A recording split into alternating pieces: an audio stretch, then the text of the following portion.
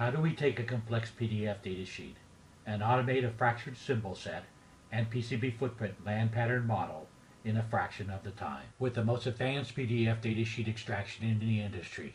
Let's bring up a complex microcontroller PDF datasheet from Texas Instruments.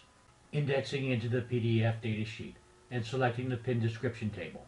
We can extract diagrams such as this BGA map or this flat pack diagram or tables such as this multi-pin pin diagram table. Let's extract the first page of this table with the PDF datasheet table extraction. Next, we will complete the table extraction turning it into a PDF template. And finally, tag the rows which we wish to ignore on data transfer. Selecting export, I will transfer the content from the PDF datasheet to the Scratchpad spreadsheet. Moving to the second page of content and invoking the table extraction. Completing the table with the build PDF template and copying the tags over from the pre previous PDF template. I will now export the content from the PDF datasheet to the Scratchpad spreadsheet. Moving to the third page of content, I will first create a PDF table and then build the table to a PDF template, copying over the previous tags from the previous page of content. And finally, transferring the third page of content to the Scratchpad spreadsheet. Let's now move to the fourth and last page of content. I will first create a PDF table and then build a PDF template from that table, copying the tags from the previous page of content. And finally, I will export the last page of content to the Scratchpad spreadsheet. Moving to the Scratchpad spreadsheet, I now have the assembled four pages of content.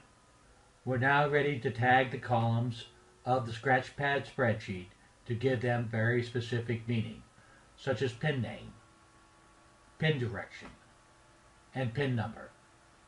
On this particular data sheet, two options exist for pin direction the columns containing the I slash O or the entire string of text. Let's now transfer the content from the Scratchpad spreadsheet to the main spreadsheet. We have many accelerator commands for datasheet mapping. Under Pin Tools, selecting Direction Code from String will automate the direction code from a string of text. Rechecking the datasheet, I now have several warnings due to duplicate pin names. Now that all the errors have been resolved, I have an extracted spreadsheet containing 111 pins. But the PDF document specifies 113 pins. How do I find that discrepancy?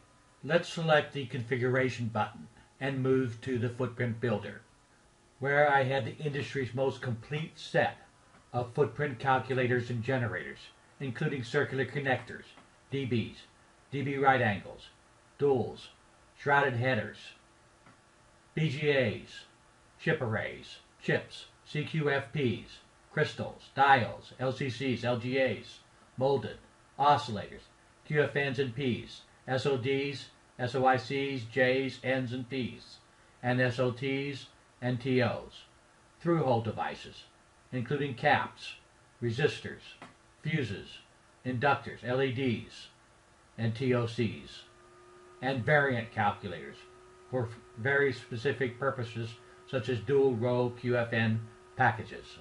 Let's move back to the surface mount category, selecting the BGA calculator, where I have both user-defined settings and IPC 7351 calculator settings, nominal, minimum, and maximum value settings. I will first move to the Component tab and change the number of rows to 12 and 12 turning fiducials off, changing the pin pitch to 0.5 and ball size to 0.30 and recalculating. I will use the on-screen associative editor to click directly on the value, changing the mode to minimum and maximum setting, and entering the value directly on the screen, updating the side form entry automatically. Let's click on the B nominal value, performing the same functions. Bringing up the PDF document, we have the C3 pin appearing on the left side and on the top view will appear on the right side. Changing the body orientation and selecting generate will put the C3 pin in the proper orientation. I will now select a set of pins to become non-propagated. Completing the outer rows, I will now select the set of inner rows. And going back and referencing the PDF document, I will notice that the C3 pin is propagated in the array. Making the last two changes, I will move to the pin tools, where I will change the propagation to non-propagated for the selected set of pins. We have now completed the modeling of the BGA footprint part and ready to annotate from the schematic symbol spreadsheet to the footprint view. Once annotated, let's bring up the reporting and obtain a graphical report of all terminals with missing pin assignments. These two discrepancies are the missing pins in the original TI PDF datasheet. Contacting the component manufacturer, the two missing pins are ground pins, which I will manually add to the spreadsheet. Rechecking the datasheet, I now have 113 pins.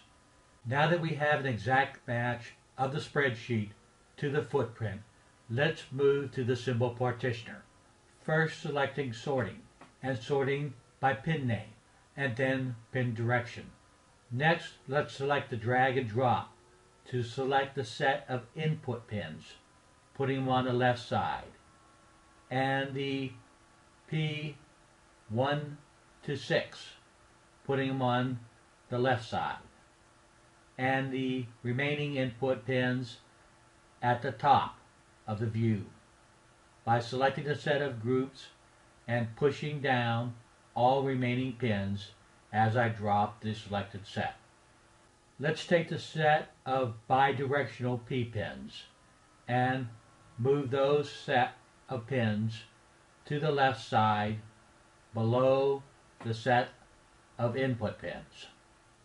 Moving to the output pins, let's take the COM0 and put it on the right side and the set of output P pins, moving those in alignment with the input pins from the left side. Taking the S pins and let's reorder the S pins high to low versus low, low to high and place those on the right side. And the X out and other remaining output pins to the right side. The power grounds and no connects, let's put on the second symbol fracture created automatically with the next command. Putting the power on the left, the ground on the left, and the reserve pins on the right side. The reserve pins are all tagged as ground pins, or we could retoggle the pin destination to no connects. Resizing the window views, let's take the selected set of pins containing the no connects and cross-reference them to the footprint with the probe command, demonstrating the integration of the schematic symbol model to the footprint.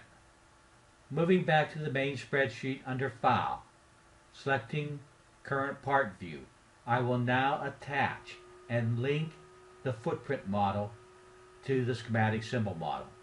I'm now ready to export the part directly to my EDA tooling system.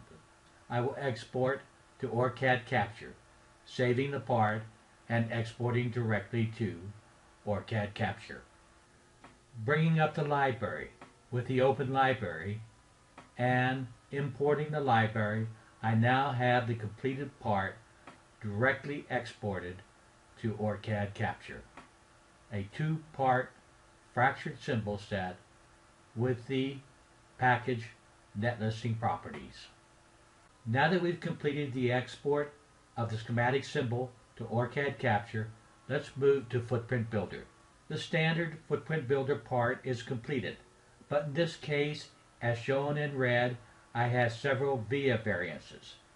I will first select a set of non-propagated pins that I wish to turn into vias, taking those pins and propagating them, and moving to the pad stack calculator. First selecting the pad variant tab, I will create a variant. Selecting the type of pad type to via and entering the pad shape, pad size, and hole size, I will regenerate and save the new pad stack as a variance. Clicking on the variance, I will swap the selected pads in the package view with the variant. I'm now ready to export the standard part with the VIA variances to my EDA tooling system. Exporting the part directly to Allegro and bringing the part up in Allegro, I will note the VIA definitions and the pin definitions and the non-propagated pins in the center of the design. At any point in time, we can select Generate, and the resulting variances will impact the following calculations, automatically updating any boundaries, keep out regions, or probe layers. We've now completed a complete fractured symbol set and PCB footprint land pattern model in a fraction of the time.